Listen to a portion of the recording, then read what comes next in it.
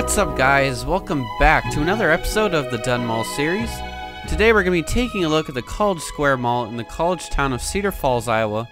And as we wind down with season two of the series and get into the holidays, you guys are going to be hearing some more Christmas tunes to celebrate the festive times. But first, I want to take a quick moment to thank all of you for 500 subscribers and so on, and the recent boom of viewers I've been getting. Thank you all so much. Your support means everything to me. Uh, so I've actually been here before and recorded this mall before. And that was back during the St. Louis expedition. However, that footage got corrupted and it was useless. So this is my second visit.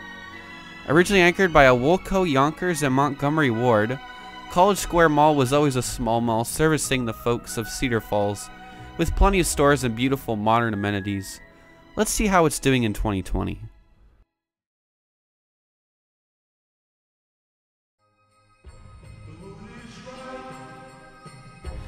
Opened in 1969, College Square Mall featured three anchors. As mentioned before, Woolco, Montgomery Wards, and Younkers, with junior anchor Osco Drug. Being the new premier shopping destination for the city of Cedar Falls, it was also opened on the same year as the nearby much larger Crossroads Mall in Waterloo, and the two malls constantly fought for retail dominance in the Waterloo metro. Nothing changed much throughout the 70s, and the first big change came when in 1983 Woolco went out of business, and shuttered their massive store, which was then turned into a Walmart the following year. In 1985, Montgomery Wards closed their store, and the next year Younkers was quick to move out of their space, filling the larger area, with Von Maur moving into the old smaller Younkers space.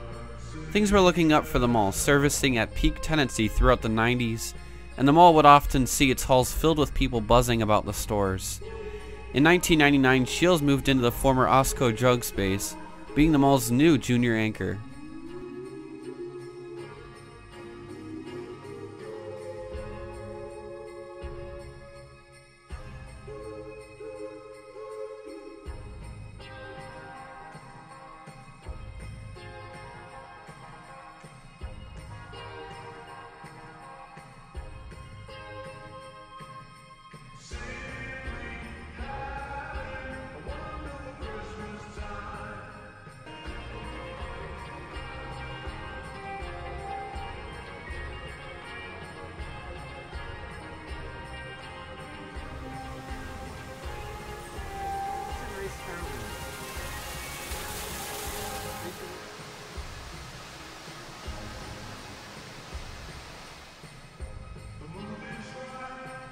At the turn of the century is when things started to go downhill for the mall, starting in 2003 when Walmart closed their doors, leaving for a new retail development south of town, known as Viking Road.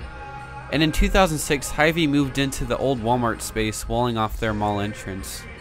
Around this time, more and more stores were leaving the mall for different reasons. From the continuing success of Crossroads Mall and the new developments of Viking Road, to stores just not being able to stay open with the dwindling foot traffic Things were starting to get into a bad condition for them mall.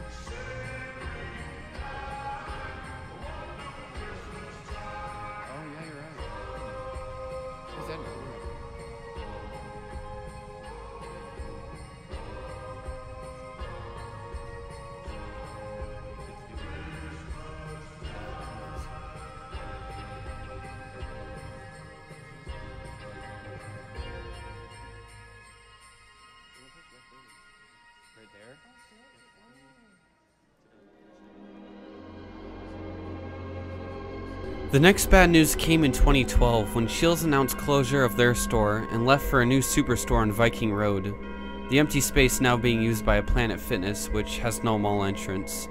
In 2015, the mall was sold to the infamous Namdar Realty Group, which is known for buying malls and letting them fail and not doing anything about it. And in 2018, Younkers closed their store, leaving the mall what it looks like today. Nearly anchorless, with Von Maur being the last one left and little to no stores at all.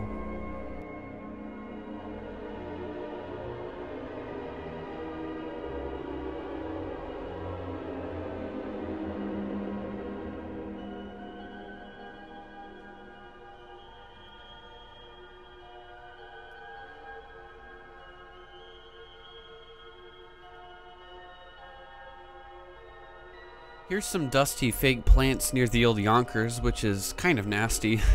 and there was also a guy who was just sleeping on a bench near the old Younkers entrance, so um, that's interesting. I guess mall security is non-existent here because I wasn't stopped once.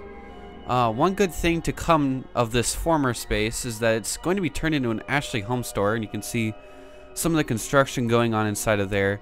So hopefully that'll breathe some kind of new life into this mall because it really is a beautiful mall with the various storefronts and ceiling architecture.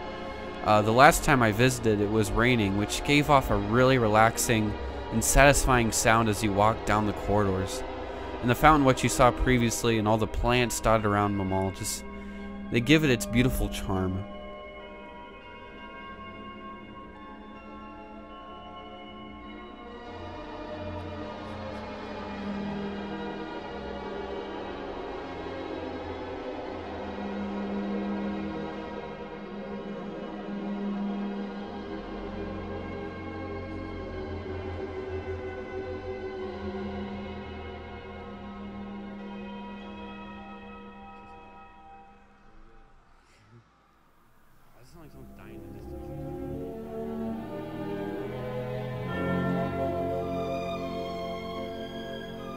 On the right here is a Bath & Body Works, which, of course, is one of the last ones left at the mall.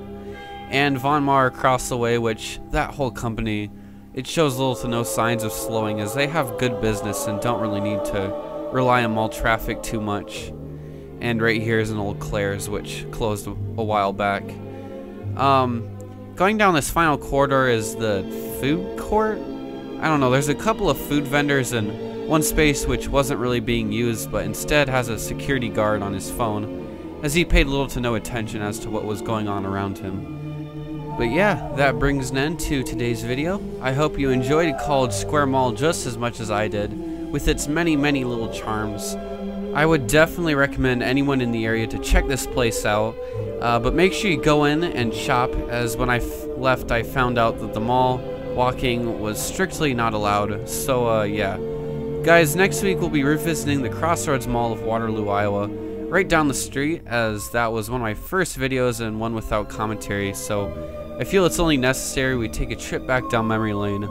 But uh, yeah, until then, have yourselves a lovely day, and peace out, guys. See you later.